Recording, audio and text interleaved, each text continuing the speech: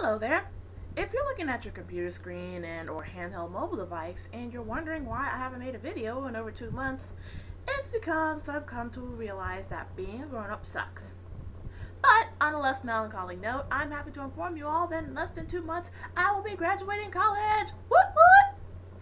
Now, where I'm gonna go from there is still undetermined, said every other soon-to-be college grad ever.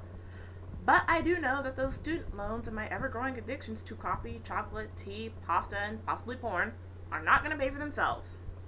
Once again, being a grown-up sucks, but you know what sucks even more? Being aware of your vices and knowing that you're gonna do fuck all about curbing them.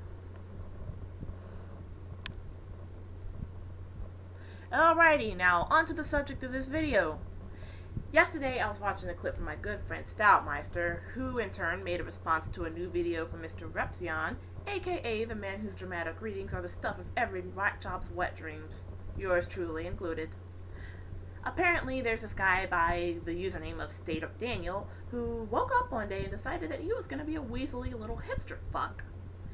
So he made a video in which atheists apparently need to have a little bit of faith faith, faith, in order to believe in the almighty God known as science. Now, I want you all to keep in mind that while I may be crass and profane in my arguments sometimes, alright, alright, all the time. One thing I've never done is claim to know everything there is to know about faith and religion and life without providing any proof whatsoever.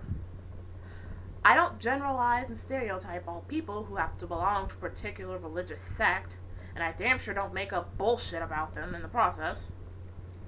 I don't take other people's videos and use them in my own creations and not leave a link to said other people's channels to, you know, help my audience learn a little bit more about the people that I featured because, you know, fuck attributing credit to people, right?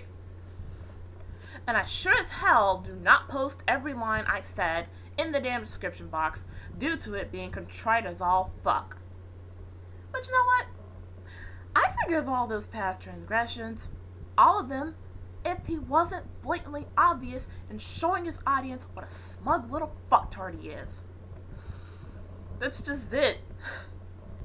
He's just a sad little fucktard trying to pull some bullshit out of his ass. In essence, if Ray William Johnson and Philip DeFranco got drunk in a sleazy motel off some boxed wine and made sweet, sweet, passionate love to an equally hammered Trisha Paytas, this guy would be their premature three-way love child.